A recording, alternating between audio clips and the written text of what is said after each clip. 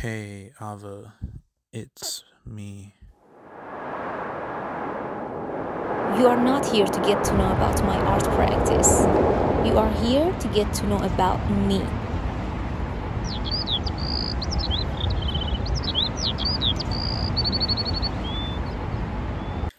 One of the significant features of my art practice is that this is part of my personality.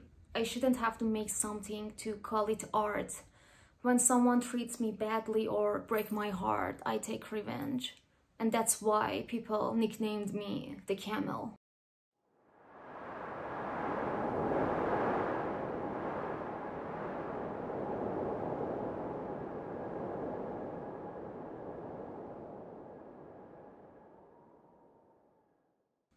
I'm kind and supportive, but if somebody crosses me, I will get back to them through my art and by telling stories, so it will be a lesson for everybody else.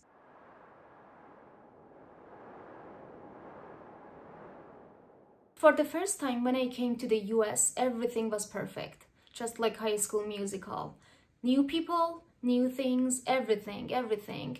But uh, little by little, I got closer to the real meaning of life. I was the only international student among my cohort and it was so difficult for me to communicate with them. They used to use some slangs and idioms that I had never heard before.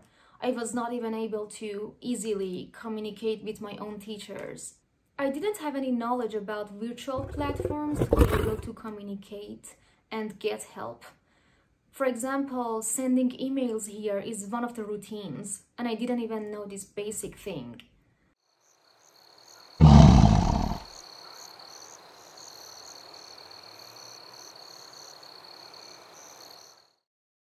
Have faced with many challenges in terms of job opportunities. For example, I didn't know that I am able to work off campus in the US during my study. Or I didn't even know that it's better to apply for an internship during your graduate studies to be able to find a job which can sponsor your visa status after your graduation. How can there be so much that you don't know? Don't know. I have felt racism in different cases. First, uh, they directly show you that they hate you because of your Middle Eastern background. Second, uh, they are so kind with you in person, but in reality, they don't support your art. They don't support you. And sometimes it's not only about racism, it is also about jealousism, being jealous.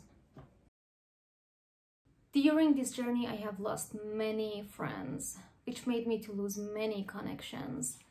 People who broke my heart, people who didn't support me to grow, or manipulators who just used my feelings as a tool to show off with my talents and my skills.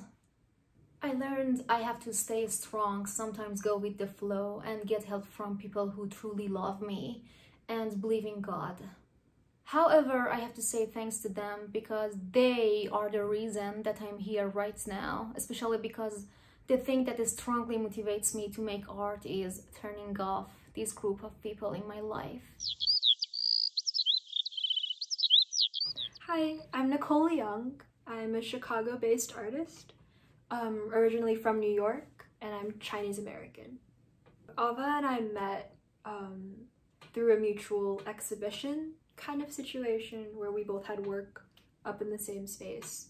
And we were both really drawn to each other just as like a whole package. Like i i know we wanted to spend time together because we loved how we both dressed how we present ourselves along with our work.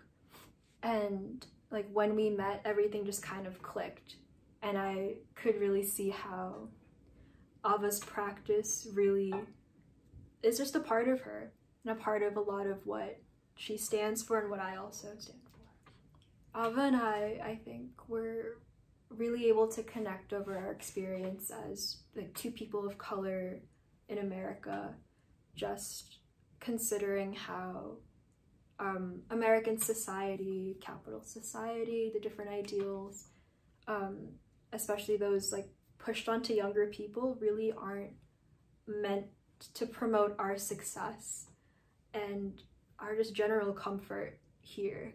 And it's been really, really liberating to be able to bond with her over those um, those kind of topics just because it's really hard to be vulnerable and open about that kind of thing.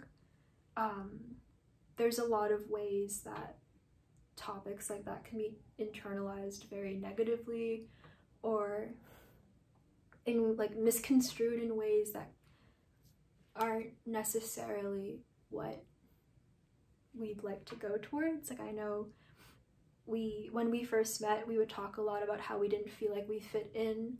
And it wasn't necessarily because we or or wasn't necessarily because I didn't feel grateful to be here because there are so many opportunities here. It's just that even as I am here and I've been born here, like I still don't feel like I belong here and I never have. And I think it's been really liberating to be able to bond with someone over that kind of experience here. As a Chinese American person, I think growing up I've really had to I've really been like indoctrinated into this culture where I've had to deny my Chineseness in order to fit in and feel like I belong here. So I've lost a lot of connection to my culture, which is very disheartening.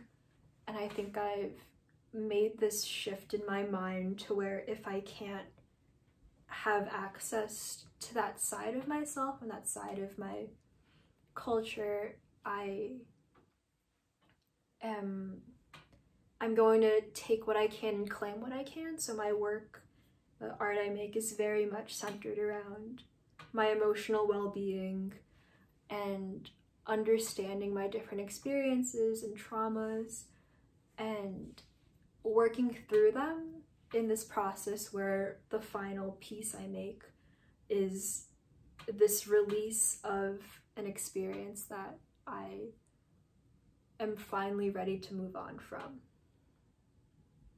In terms of my relationship with Ava and why I appreciate her so much, um, she really sees through all of this hypocrisy and all of this cruelty in people and how being really genuine in society today is taken as a, it's really taken advantage of and it's really seen as this vulnerability that can be exploited and used for someone's personal gain which is really really horrible. But i think in meeting ava it's been really reassuring to be able to talk to someone who recognizes it all and isn't afraid to be vocal about just how not okay that kind of treatment and behavior is and just kind of how there really is like there really are genuine people out there who want the best for others and that just gives me a lot of hope and it just really feels like when we spend time together I'm kind of being stitched back up and re-elevated to this place where I know um, I know things are gonna be okay and there's still good people out there. Hey, Ava, it's me. I just wanted to give you a call and tell you that I I made a huge mistake. I'm so sorry. Let's have a cup of coffee.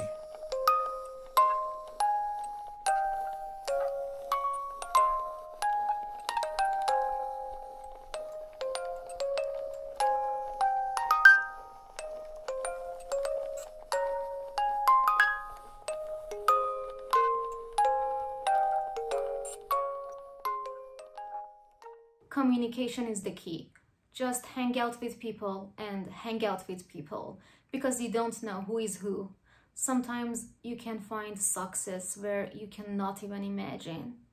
Based on my experiences, communication and vulnerability make you to become successful. These two factors have opened many doors for me exactly the time that I didn't expect. just like Cinderella when she met the fairy godmother. You know what is so funny?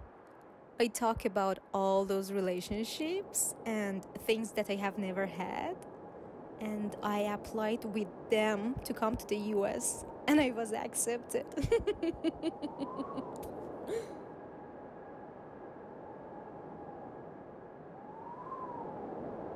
You're my Disney princess.